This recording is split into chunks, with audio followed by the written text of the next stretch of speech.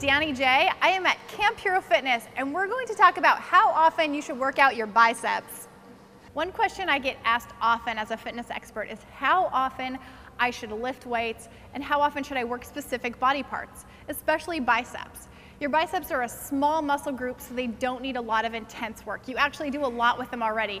You're lifting things all day, groceries, children, all kinds of things. So when you're doing actual exercise for your biceps, curls, you really don't need to do more than two days a week. I suggest also giving yourself at least one to two days in between bicep workouts so that you get a full rest and recovery. Another way you can make sure that you don't overwork it is doing different angles in your lifts. So learning how to do hammer curls, using machines, dumbbells, and barbells, that will help mix it up and that way you're not overtaxing those muscles.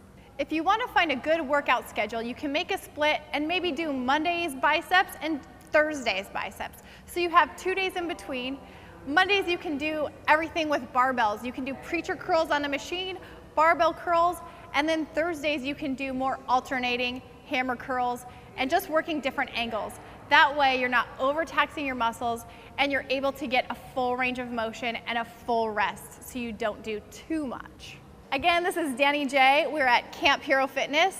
We just talked about how often you should work out your biceps.